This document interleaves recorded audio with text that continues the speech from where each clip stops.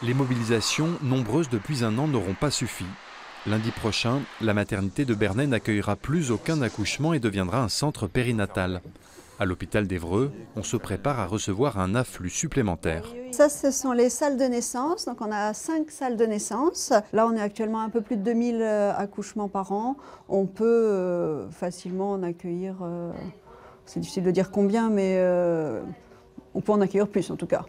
2027 accouchements précisément accueillis ici l'année dernière. L'hôpital d'Evreux en prévoit 100 à 150 de plus pour cette année. Un mouvement déjà en cours.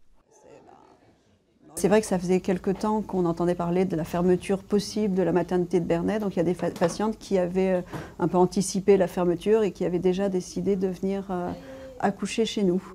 Des patientes qui bénéficieront ici de gynécologues, anesthésistes, pédiatres 24 heures sur 24 ou encore de ce service de néonatologie. Il y a un service de néonat. À Bernay, il n'y a pas de service de néonat. Donc on peut hospitaliser des bébés, même prématurés, à partir de 32 semaines d'aménorrhée. Au total, 6 lits supplémentaires pourraient être mis à disposition des futures mères selon les besoins. Cette représentante syndicale s'interroge cependant sur leurs conditions d'accueil.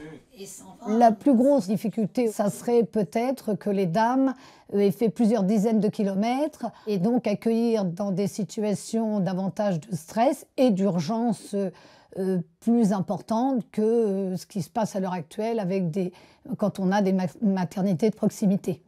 La maternité de Bernay accueillait près de 400 accouchements par an et compte 13 sages-femmes.